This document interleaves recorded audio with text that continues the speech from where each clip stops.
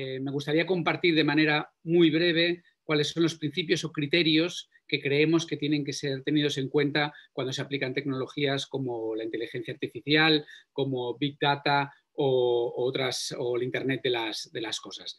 Tienen que ser aplicaciones, tienen que ser em, tecnologías basadas en interés público, tienen que basarse en la transparencia, también en la rendición de cuentas, tenemos que explicar el por qué utilizamos estas tecnologías. Tiene que haber una supervisión y una responsabilidad por parte del ayuntamiento, de la organización pública, pero también de los ciudadanos.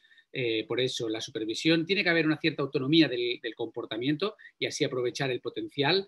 Tiene que haber privacidad, tiene que haber seguridad, se tiene que poder explicar de manera comprensible el uso de esta tecnología. No pueden ser eh, discriminatorias y tienen que estar sujetas a, una evaluación periódica.